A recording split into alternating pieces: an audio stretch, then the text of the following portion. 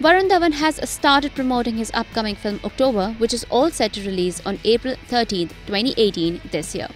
Meanwhile, Varun is also shooting for Sui Dhaga Made in India with Anushka Sharma. Recently, Varun interacted with his fans on Twitter. He talked about his film and his likes and dislikes. When the actor was asked by a fan his experience of working with Anushka Sharma, he said, Superb, she's a very nice girl and very funny also. Anushka and Varun's look from the film were leaked recently and they look perfect as a small town couple. Varun was also asked, Will October earn 500 crore? He replied, It's not about the money. I just want you to enjoy the film and feel I did a good film. Directed by Shoojit Sircar, the film also stars Banita Sandhu.